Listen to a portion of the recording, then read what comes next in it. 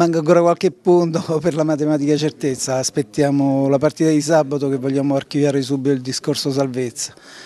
Faccio i complimenti anche al Pescara che il primo tempo abbiamo tenuto la partita in equilibrio, molto pericoloso nelle ripartenze, Pillon aveva impostato forse la partita così, però il secondo tempo poi è uscita fuori la rabbia, la forza dell'Ascoli e alla fine abbiamo portato a casa i tre punti.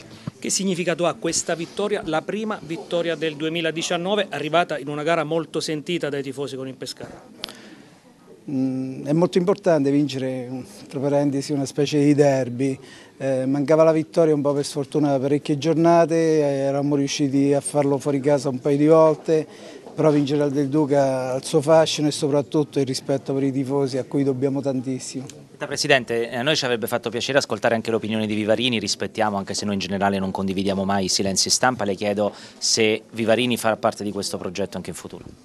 Vivarini è l'allenatore dell'Ascoli Calcio e sicuramente seguiremo con Vivarini. Abbiamo saputo proteggere in tempi burrascosi e lo faremo anche in futuro. Diamo questo scoop, Vivarini continuerà con l'Ascoli. Possiamo dire Presidente che dopo quella partita incredibile di Lecce forse è scattato qualcosa nella testa dei giocatori, quando si tocca il fondo si può solo risalire, avete avuto la forza di... Eh, pareggiare con il Benevento dopo essere andati in vantaggio per 2-0, vincere a Padova e oggi battere il Pescara.